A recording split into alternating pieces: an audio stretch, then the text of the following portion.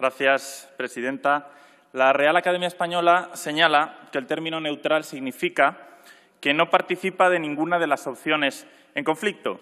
Me sorprendió sinceramente que el ministro Castells no se sumara a la defensa de la neutralidad en la universidad. Lo primero porque ser neutral significa no hacer algo, no hace falta hacer nada. Y todo el mundo sabe que el ministro Castells prefiere no hacer que hacer. Lo segundo porque el señor Castells planteó en esta Cámara un falso debate, un falso conflicto entre la libertad de expresión y, en concreto, la libertad de cátedra y la autonomía universitaria, por un lado, y el principio de neutralidad de las instituciones, por otro. No voy a ser un ministro censor de la libertad de expresión de nadie, afirmó con la misma solemnidad con la que nos dijo en la comisión que este mundo se acaba.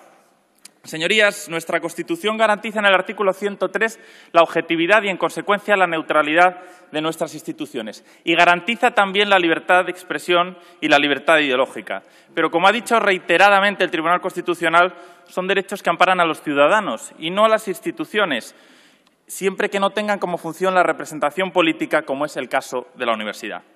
Como claustral y miembro del Consejo de Gobierno de la Universidad de Valladolid, tuve que votar en muchas ocasiones votaciones sobre temas absolutamente extemporáneos, no sobre valores compartidos, como dijo el ministro en esta Cámara, sino sobre asuntos polémicos. Y como dijo uno de los principales teóricos de la democracia, Giovanni Sartori, la aplicación de la regla de la mayoría supone siempre que existe una minoría que pierde y, por tanto, que ve frustradas sus expectativas. ¿Qué necesidad hay de aprobar por mayoría resoluciones sobre temas que no tienen nada que ver con la competencia de los claustros universitarios?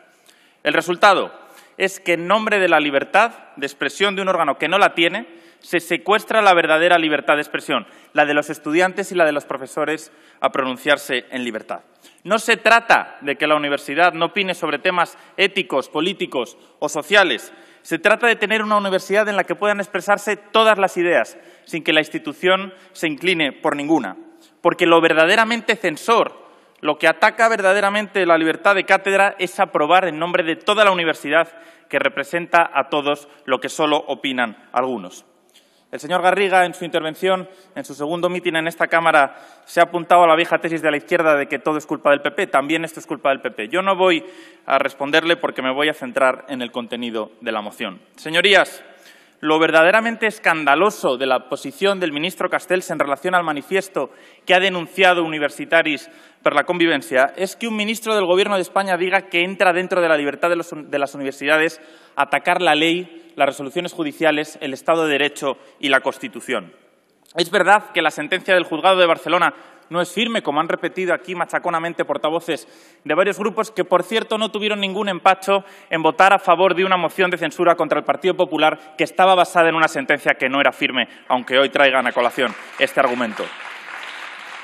Pero es que lo ha dicho también el defensor del pueblo y parece claro y evidente que el contenido del manifiesto es contrario a la Constitución. O sea, que para controlarnos el Twitter sí, pero para atacar la Constitución, libertad toda. Esto nos lo podíamos esperar de los separatistas, que no tienen mucho respeto por la Constitución, pero de un ministro de Podemos. Oiga, ¿no venía Podemos a defender a los débiles? ¿Y quién es el débil aquí? ¿El estudiante de la Universidad Catalana que no se atreve en su clase a decir cuáles son sus ideas para que no le señalen? ¿O un órgano de la universidad que impone la verdad oficial. ¿Quién es más débil? ¿El profesor que por ser contrario al nacionalismo es marginado por sus colegas o los que pretenden imponerles la ley del silencio?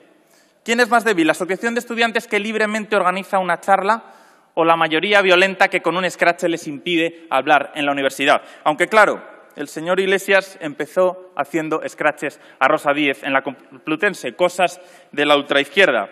Señores de Podemos, la defensa de los débiles les ha durado muy poco, menos de lo que se tarda en ir de Vallecas a Galapagar.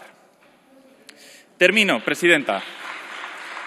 Desde el Grupo Popular vamos a seguir comprometidos con una universidad donde la libertad y la pluralidad estén garantizadas a través de la neutralidad institucional, como recoge la proposición no de ley que hemos registrado en esta Cámara. Señorías, yo nací en 1990.